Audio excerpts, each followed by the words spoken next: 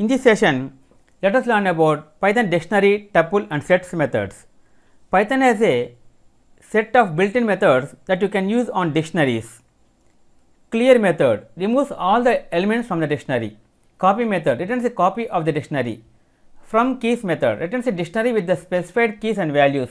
Get method returns the value of the specified key.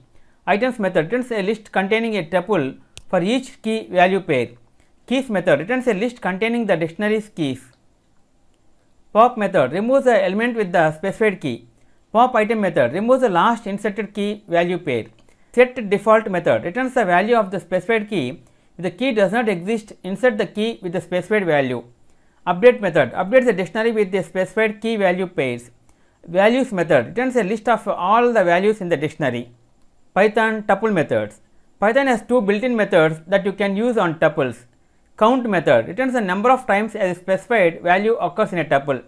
Index method searches the tuple for its specified value and returns the position of where it was found. Python set methods. Python has a set of built-in methods that you can use on sets. Add method adds an element to the set. Clear method removes all the elements from the set. Copy method returns a copy of the set. Difference method returns a set containing the difference between two or more sets.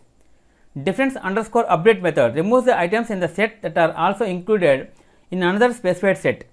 Discard method removes the specified item.